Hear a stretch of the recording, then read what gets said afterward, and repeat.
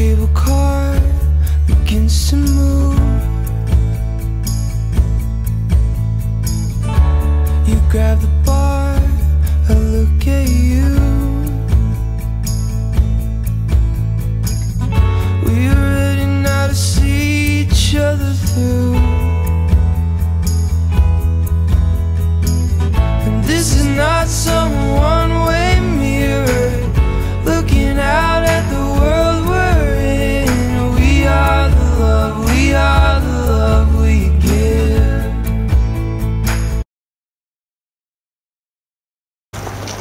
So right here I'm now in um, Lynn, Massachusetts, and we're on our way to the Dungeon Rock.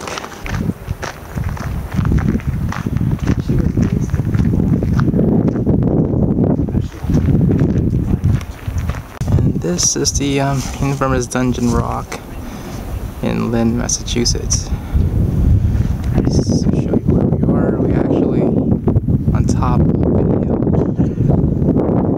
This is like.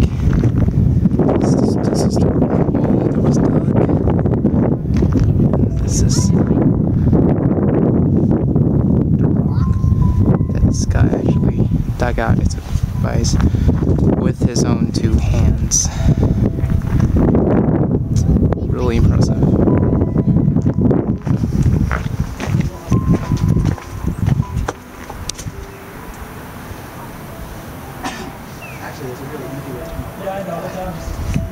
This is another view of the interior of Dungeon Rock.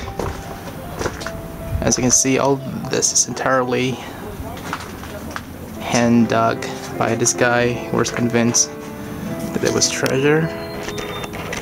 This is the door. This is the door the guy dug out. The legend on Dungeon Rock says that a ghost told him that gold is buried within this boulder and he spent his life trying looking for the gold. And of course, as you can probably tell, no gold is ever found.